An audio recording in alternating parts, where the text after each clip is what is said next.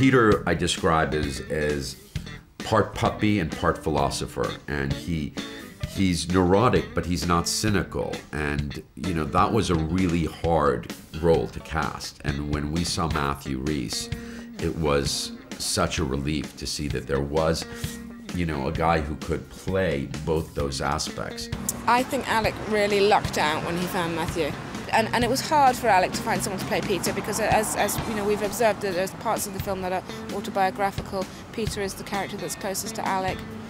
That's difficult to find somebody who you. I'm not saying he's playing Alec per se, but he's playing aspects of Alec, and so obviously that's very close to Alec's heart and very close to his brain in terms of how he wants that person to, to, to look and come across. And that's a hard thing for an, an actor to do. And Matthew was very, very patient and very um, understanding about that. Oh, Peter, I feel so bad. Shh, come on, drink this. No, I mean about you not getting to meet Robbie Williams because of me. It's okay. Matthew Rhys, who plays Peter, is awful. it's been lovely to get to know him. I, I had so much fun working with Matthew. he, if, if, if anyone watching is looking to cast anyone of any age group, size, I, man, woman, Matthew Rhys can do the role. I know he could. I think he's a he's a genius, brilliant actor, and and he's just so clever and quick and witty and smart, and he's perfect. Yeah, he's um, he's an aspirational screenwriter who hasn't had a relationship in years, and basically has these relationships in his head and, and lives out purely in his own imagination. He can't be bitter, you know, because he's someone who's very, very disappointed and disillusioned with love and life, but he makes it in such a charming way, which is fantastic, the way he plays with that, I think. I mean, he's a great actor and a great, great person as well, great guy to work with. yes, it is actually. And the first time you see me, I haven't got a stitch on me. Uh, and I'm claiming myself the original Queen of England. What attitude? I'm just being realistic. If you're realistic, then I'm the Queen of England. Hey! I'm the Queen of England. Hello, Your Majesty.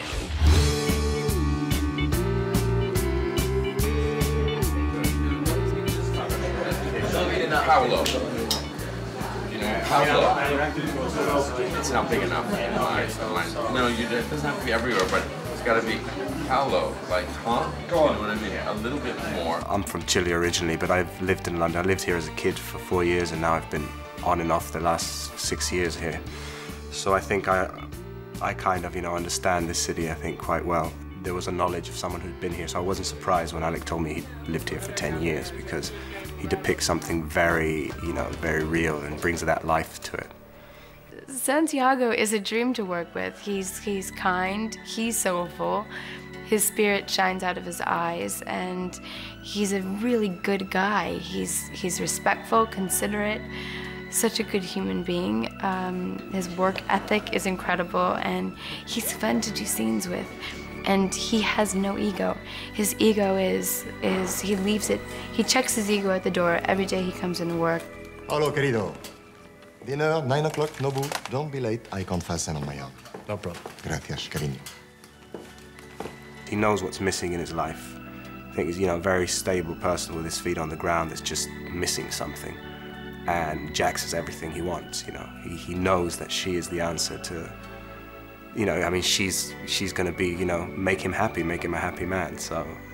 But, you know, he's perfect casting as, uh, as Santiago because of his background and his Latin American uh, upbringing and the way he looks and the way he behaves. He's, you know, he's quietly spoken, but he's got ardour and passion, and he, and that's that's what um, Paolo's around as well about as well. So, yeah, it's been working out. I didn't see their tango, but I hear it's also awesome. So I'm sure he won't disapp- uh, disappoint on any accounts. And the tango, oh my, that was that was a humongous deal. We started learning straight off because we had like a three-week rehearsal period. This was May, it seems ages ago. And uh, we started tango straight straight off with uh, with Brittany. We had a lot of tango time together as well, you know. So so we got kind of to know each other even more. Basically, Island just we, the two of us were in ta- for over 40 hours of tango lessons. And I, I loved it. I loved it. I'm kind of thinking about, you know, going, getting more into tango really. And it's such a sensuous, you know, dance in every way. It's sexy. It was, I want to continue, it was really great exercise. I would like to continue tangoing and, and, and it was a great workout that my body misses.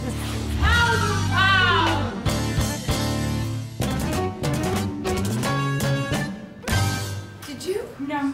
I told you. Yes. I just did every single one Wait, of and you. now I've lied. Yeah. Oh. Yeah. Yeah. And now I've lied.